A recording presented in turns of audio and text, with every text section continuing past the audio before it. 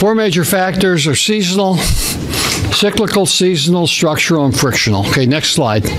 Okay, um, these are the major influences in the economy. So whenever you take a look at an economic situation that's going on, you have to understand which of the force structure, which are the force influences you're dealing with, because they're all simultaneous. Okay. Now some are stronger than others at the time, and so um, as we look at it, next slide. Uh, we, as I said, the most powerful is structural. Now this is the this is the Chinese road. And you can see, though this road goes all the way back to, to before Alexander the Great. We know that China was trading with the Roman Empire. We know that China was trading with Greece because we have writings of we have writings of people who wrote about them dealing with silk from China. Okay, and what they're really doing is revising or re, re, uh, bringing about, revivifying that trading group. And as you can see, what's happening is they're leaving um, China. And let me just, I can speak a little louder. And you can see, the microphone? Here. Oh, you got a picture. Okay. Uh, I'm kind of used to moving around the classroom. So now you notice that there are two parts to it. There's the um, there's the sea road, and then there's also the land route. Now, uh, next slide. The Chinese are running spurs. Oh, okay. Button. Okay. Now notice this is the this is in Pakistan, and down here is the Persian Gulf. So what the Chinese are doing are putting railroads and other roads through, in which they will be able to influence things all the way along this track, and they're using their own soldiers to protect the track from terrorists. So what's happening is they're moving very much in. Next slide. Um, this is um, the structural change. It's permanent changes in the economy. It's the greatest influence in the direction of investment. And if you're going to make money, you're going to make money in investing in structural change. You're not going to make it in the stock market because it fluctuates all over the place. But if you can guess what the structural changes are going to be, that's where it's going to be. Um, sometimes we confuse it with cyclical changes. Sometimes we say, well, it's part of the trade cycle. But um, the structural change is what it is hard to um, it's hard to predict. Next slide, but it works very well. Now, these are the various um, types of structural changes. And you can go through unintended consequences, personalities, inventions, geography, um, institutions, politics, competitive factors, currency values, um, access to credit. Next slide.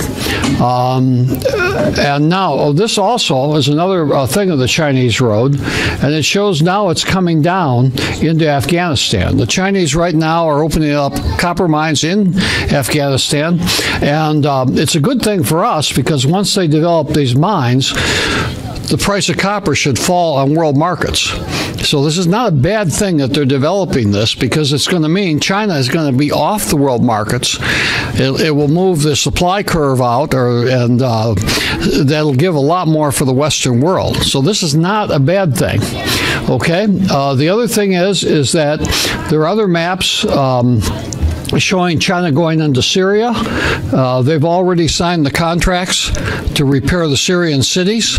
Um, they are there's Chinese special forces there, and they're there to protect their what economic interest. So it is my projection that the major players in the Middle East will not be the United States. It will be Russia and China and uh, because the Chinese have the money to be able to redevelop it, uh, the Syrians are very much open to having the Chinese repair the cities. Uh, I have been in China, and uh, I've seen what they can do. I mean, the uh, you see, I was there one year, vacant field. The next year, complete marble hotel with all the fixings. So I mean, they're they're. Um, by the way, they're all over Africa. They are now putting railroads east to west and north to south, which has never been done. So what we're looking at is we're looking at a major, major structural change in the economy as China asserts itself. And um, next slide. Okay, uh, if we take a look at structural changes, uh, air conditioning opened up what? The South. There's two things that changed the South uh, air conditioning and the Civil Rights Bill. Okay, next slide. Okay, uh, personalities. Uh, obviously, this town was built on what? Uh, with Henry Ford, the moving production line. Okay, next slide. Okay, penicillin was discovered. Uh, obviously, a major structural change with regards to uh, health. Okay, next slide. Okay, this is the event that ha- that really is controlling almost everything today. Almost every mess that you can trace is traceable to World War One. Um, it changed the world, and it got us into World War Two. It, um, Wilson was the major, major uh, revolutionary, not Lenin. It was Woodrow Wilson that changed the world. It wasn't Vladimir Lenin, because Wilson opened up the door for Lenin, Hitler, Stalin, the mess in the East, etc. Okay, next slide. Okay, um, oil obviously um, changes the whole pattern of production. Remember, before we had steam engines. Uh, in order to run an internal combustion engine, you have to have very refined fuel, and the production of oil brought that about. Next slide. Okay, inventions, just to give you an idea, of structural change. Uh, the, one of the most important inventions was the clock. Was invented by a pope, Sylvester II. And think of it everything you do, when you put that watch on in the morning, you link in to everybody else in the world and he invented that in about 900. He was nine, almost to a thousand. He was a brilliant physicist. The printing press obviously uh, brought the the cost of information down. Um, it brought it down till to just pennies from what would uh, remember if you had to have a book before, it took a scholar or a monk at least six months worth of labor. It brought it down to, to fractions of that. Okay, the scientific method obviously allowed research. Okay, next slide. Um, major industrial inventions. These are these are all structural changes. Uh, gunpowder, the steam engine, the cotton industry. Uh, next slide. Okay, um, this will give you another example of, of what's going to happen. Um, this is the Erie Canal. Now, that was responsible for New York City because you could bring goods from uh, Europe. Uh, and it, would, it, could do what? It could transverse the Erie Canal, and it opened up the entire Midwest, um, as that would be. And it's almost going to be like a parallel to the Silk Road. Okay, next slide. Okay, the next thing I want to talk about is demographics. Okay, and the demographics are very, very important. Uh, we are not at replacement. Okay, you should be aware of that. There's not enough kids. We're at 1.5. We're uh, we were 1.9. We dropped a bit. Now it'll it'll come back up because with Ronald Reagan there was a baby boom, and I think if Trump is anywhere near successful, there'll be another baby boom. But this shows you the changes that you can expect. Uh, you can see, um, let's just take a look at the uh, religious changes. About 75% 2010 are Christian. That will drop. Uh, dropping as the unaffiliated increase. Uh, the age, notice what's going to happen 65 plus will increase, 25 to 64 will increase, but by 2055, there'll be a lot fewer kids um, available that'll be under, under 25. Um, racially, the United States will change. Hispanic will grow. Black will remain about the same. Uh, and uh, as others come in, Asians uh, come in, uh, the white population will probably drop uh, till about half uh, of the of the population. Next slide. Now, this is the general fertility rate for the entire world.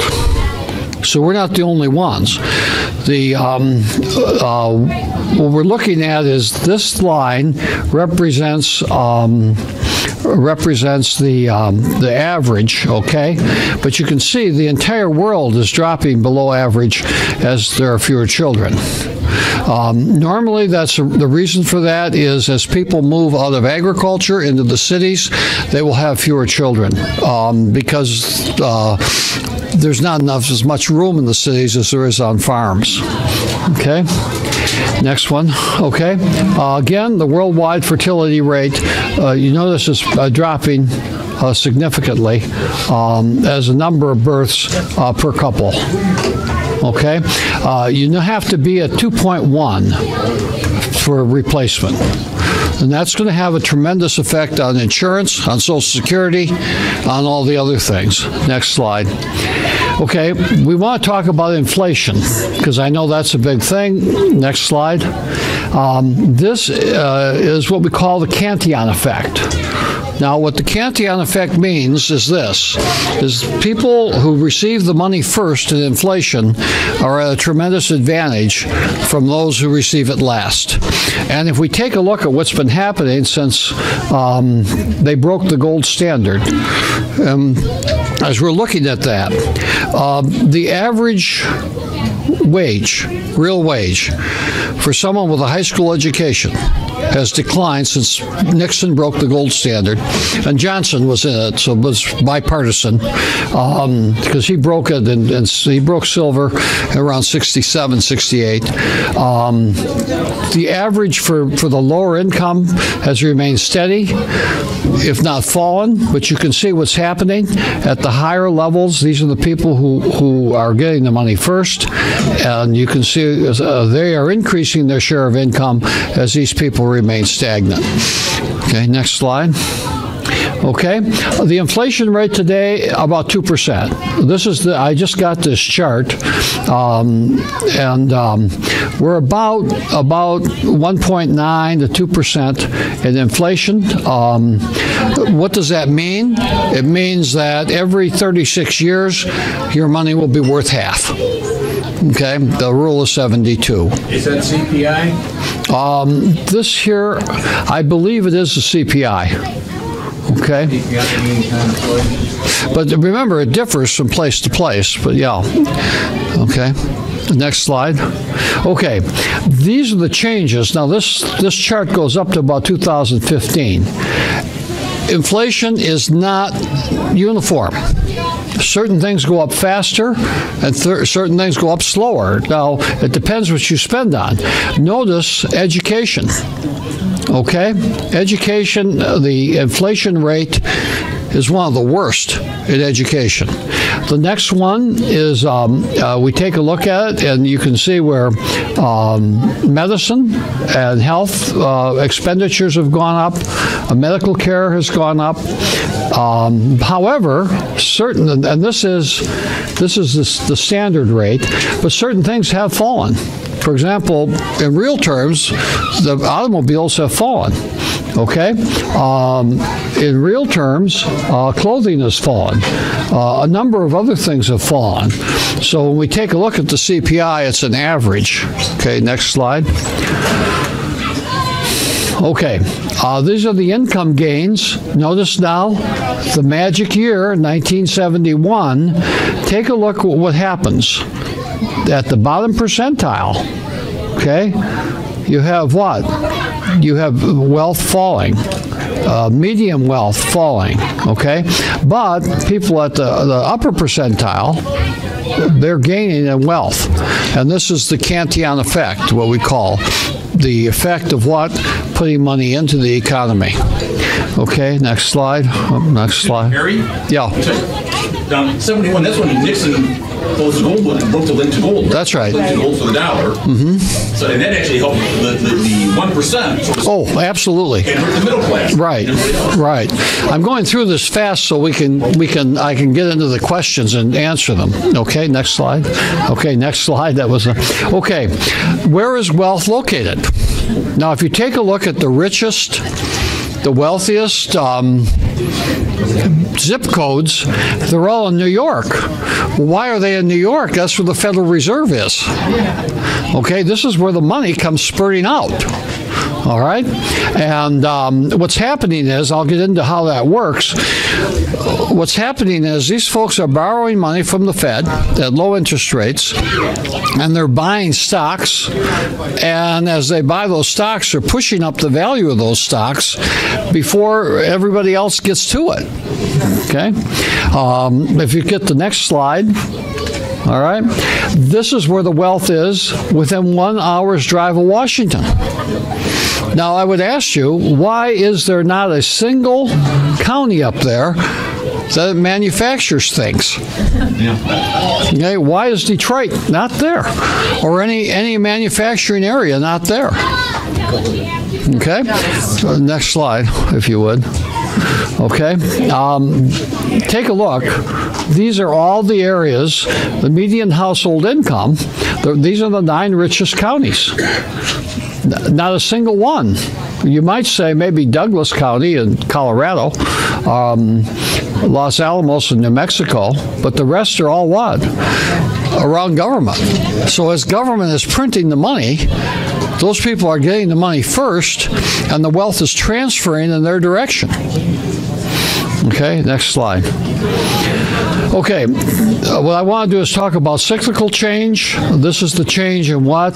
It's the change in the recession and depressions.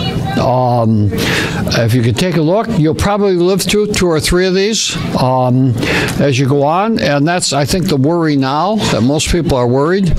Next slide. Okay. Now, this is the predictor. The predictor of the trade cycle is the yield curve. Okay? Um, and that shows the difference between, this here is the difference between long term and short term rates. Okay, so what's happening is, take a look in 2005, there was a three point difference between short term money, say money for six months to a year, and long term money, say money over over a year. That has been tightening. Notice the difference between short and long term has been tightening. And this is a if this indication, if this yield curve becomes flatter, it does show that the economy is going to be slowing down. If it inverses, get into cash immediately. Do not wait. Call your broker immediately and get out of stocks because if the yield curve inverts, that's almost a 92% predictor of another coming recession. Okay, so you notice how close we are now, and this has been tightening. This the short-term rates have been tightening. Not a good sign. Not a good sign. Now, notice if you take a look at it. Okay, this was a recession recession here, 99, 2006 or 2007. Okay, uh, notice here a major a major influx in the real curve in 1980. Okay, this was the recession of 1990. This is again the recession of two, uh, 1999, uh, 2005, 2006, 7. Okay, and it looks like it's heading in that direction. So I would I would mention to you is the, now notice these when these things start down. Okay, as they start down, you don't generally they generally don't start bouncing back up before it inverts. So if you're taking a look at this and you're using this as the predictor, you can say, yeah, probably uh, unless this thing turns around, probably within a year or two you could have a recession. And if the yield curve inverts, you don't have a minor one, you have a major one, which means that the market will, the stock market will drop. Okay? If the predictor is right, which is about 95% of the time, 92 to 95% of the time. Okay, next slide. Uh, tariffs may not have much effect. Uh, notice this is now these statistics I'm giving you are today's. That's one of the reasons I was late because I wanted to pull the statistics right from uh, say the horse's mouth for you. The yield curve that's today's statistic. This is today's statistic. Markets bouncing back. Um, uh, in 19, 2003, the Bush administration put steel tariffs on. It ruined a lot of small uh, businesses here in Michigan, particularly metal fabricators. Um, and remember, there's there's like 10 times the number of people in metal fabrication as there is in um, in steel. So by favoring these with this with this uh, thing, generally um, tariffs have been accompanied. Rising tariffs have been accompanied by what a fall in the stock markets. So we'll see if this if this comes true. Okay, next slide. Okay, seasonal change. Uh, that's open to prediction. Um, you're always going to have Christmas. You're always going to have summer. You're always going to have businesses and seasonal change. Generally, uh, whether you have recessions or depressions, seasonal change remains pretty much the same. Okay, next slide. Now, frictional. This is where cash is sitting on the sidelines, waiting for a better market return. Okay? What it means is corporations are holding off investment. And if we go to the next slide. Okay, um, there's an estimated $2 trillion still, uh, and still a great amount overseas that the co- corporations are holding. They're holding it because they do not see investment opportunities. The new tax policy may spur investment, and one of the good things is unemployment is falling. Um, now, uh, the problem is, is a lot of companies, rather than investing, are buying back their stock, which is pushing the value of the stock up. But and uh, it does increase corporate earnings, but it does not necessarily mean a boom time. Okay, next slide. Okay, now. I wanted to spend the time to answer your questions because most of the time people want to people want to um, um, ask a lot of questions of economists. So yes, sir. Yeah, so did Trump has put some uh, uh, tariffs on? Yes. Well, he's he's talking about it. Let's put it that way. So he hasn't actually, No, they're not in effect at this point. Okay. Um, it's going to take it's going to take some time for that to go into effect. Now, in 2003, he put did put steel tariffs on, and it wrecked a lot of steel fabricated industries. the price of steel goes up.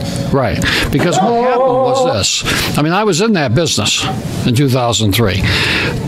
The price of steel went up, but we could not pass it on to General Motors or Chrysler or Ford uh, or, or their uh, suppliers. So they said, if you try to raise the prices, we'll go to China.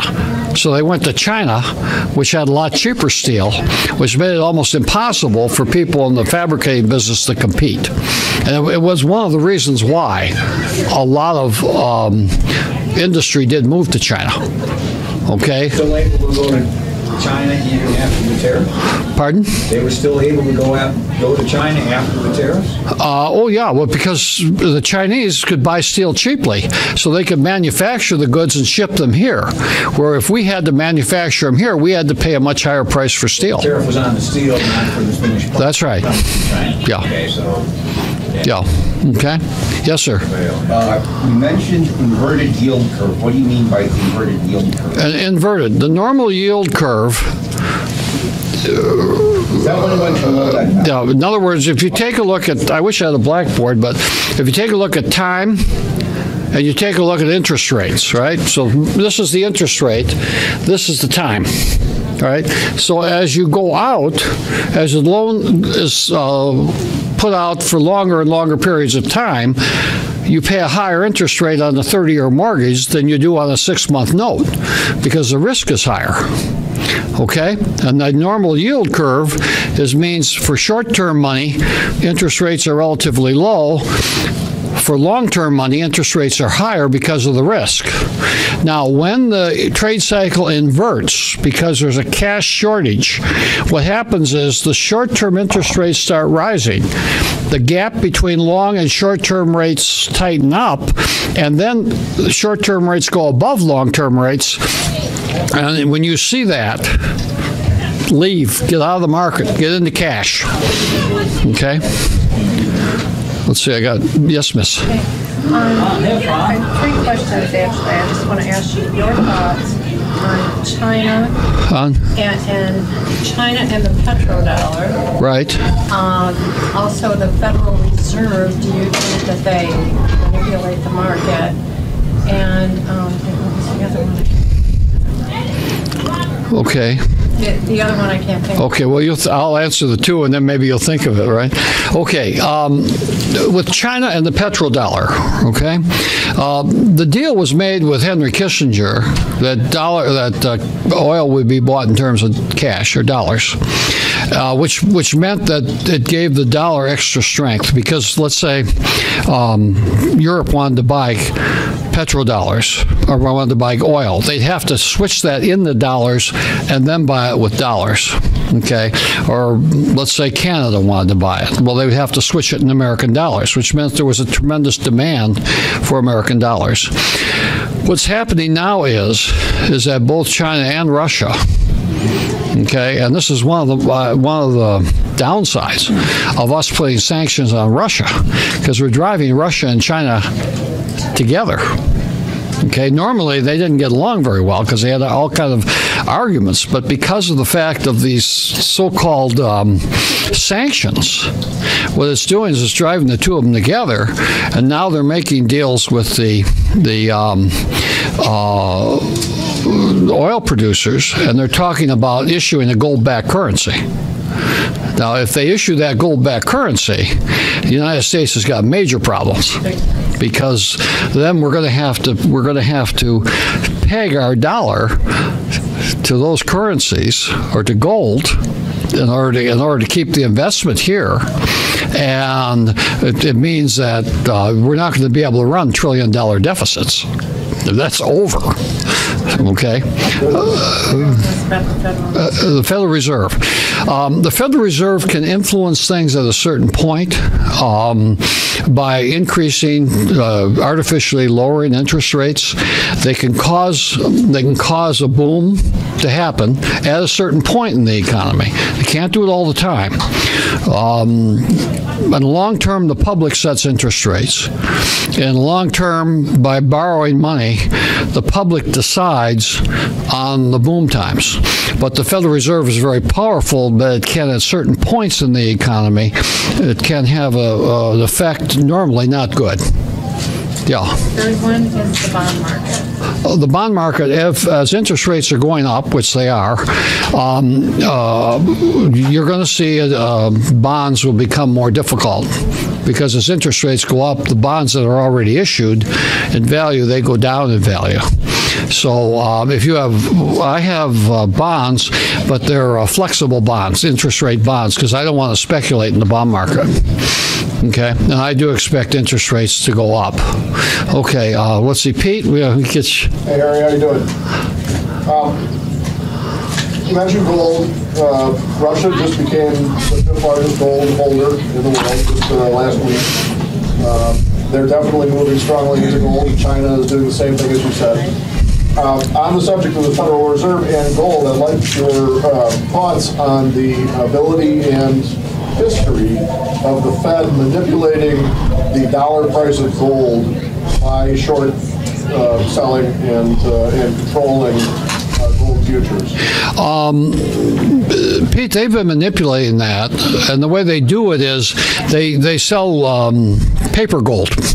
In other words, promises to deliver gold, and they dump that onto the market. But the ability to do that is uh, the window of that is closing on that. Now, uh, remember, there's a difference between uh, between a gold standard and speculating in gold. Okay, I mean, a lot of people say, "Well, you know, I'm for the gold standard. I'm going to go out and buy gold." Gold's a commodity, and it, it it's uh, it's a volatile market. Gold standard is different. Okay, uh, it's an entirely different bag of potatoes. But um, what I think is happening is this: is that um, the neoconservatives are really upset with Russia and uh, Russia winning the war in, in Syria. Okay, and what happened was is that that's why they caused the revolution in Ukraine. they thought because Putin had interfered, they thought they were going to get back at him, and so they were going to seize that naval base, which is in uh, Crimea. Putin outsmarted them and grabbed it. Um, however, he did it, and they're still very angry about that. And they're still very angry about uh, Syria because their plan was. And um, I had a friend of mine who was in the our service, and he told me this in 1996. The plan was to wreck, to go from Iraq to Syria to Libya. Okay. No, uh, no, no, well, they go. They want Iran too. Okay. Well, what happened? It went the opposite. What's happened now is Iran and Iraq are together with Syria. They've they've constituted a Shiite crescent, which is exactly the opposite of what we wanted, or what the neocons wanted. So they got themselves a major mess on their hands. Okay. So that's why. And so what's happened is we put the the uh, sanctions on Russia. Russia and China have gotten closer.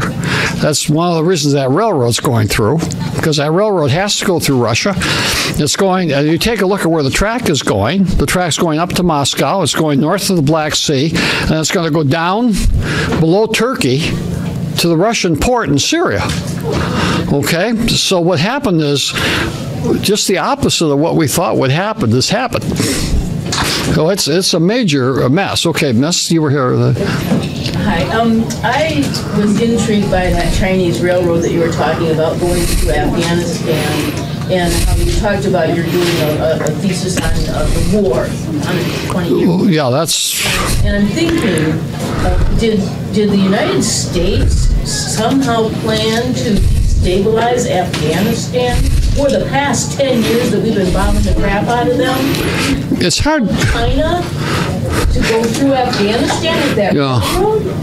It's hard to say because, um, uh, you know, I mean, I, you go to the conspiracy what they plan to do. The one thing we can say is everything they wanted to have happen, the opposite happened, and it's happened that way for 120 years. I mean, every single thing has been a failure. And I, I, was working all day yesterday on my presentation on 120 years of war, and you start going through it, and you say, okay, where's the victory? There's no victory. There's no winning. Okay, and what's happening is, is a lot of it is bumbling. I mean, for example, um, Dulles. I don't know if you get the, the New American magazine. Uh, John Foster Dulles was the guy who wrote into the Versailles Treaty the guilt clause on Germany. That was responsible for bringing Hitler to power as much as anything. So here, this guy didn't even know there was a Hitler, puts that clause into the thing, and causes a tremendous mess. I mean, most of these people are, in my opinion, I wouldn't know the conspirators, but I'd say they're completely incompetent. Uh, we could hire a ad agency or something to do a better job than they've done. Is this recoverable for us? Yeah, the United States is a very, very powerful economy. It's it is recoverable, um, provided we do the right things. I'm not pessimistic, but you know, the, thank God for the American economy, because if we didn't have a strong economy, this thing would really be a mess. I mean, you got two things working, right? You got the politicians completely incompetent. Okay, you got the American economy very competent, very strong, uh, very dynamic. And what's happening is, is you have this pushing up and these people pushing down. But I would just say it's a question of competence. Yes, sir. No, well, behind you. Uh, get- he, he was up first. Yeah. When, when our goals and policies fail, who benefits? Which countries do? When the policy benefit, uh, Yeah, like you mentioned, our have failed for the last hundred years. 120. Boy, There you go. Who, who's benefiting by all this? Well, actually, in a way, nobody is because it's left a mess for the world. It's left a tremendous mess for the world. So, I mean, could you say that Russia benefited by the communist revolution, or that China benefited by Mao Zedong, or the Philippines benefited by our occupation, or whatever? I mean, it has created one massive mess. And if we had listened to Washington, the world would be a heck of a lot better off. And and what did he say here? He- to Tell us what he said. He said, stay out of foreign entanglements. Not only would we be better off, the world would be better off. Okay, yes, sir. You started your presentation with China, uh, going into Europe, Yeah. Afghanistan, and into Africa. Recently, within the last week, they changed their, um, top of their governmental uh, structure, Mm-hmm. saying that their president, whoever their leader Oh, is no longer going to have to run for office or um, whatever that was going on before, but now he's going to become a lifetime if that's what the people do. Does that have anything to do with what they're doing now in the world? No, uh, here's the thing. A lot of people think democracy works for other people. The Chinese always had an emperor, will always have an emperor, and they've gone back to having an emperor.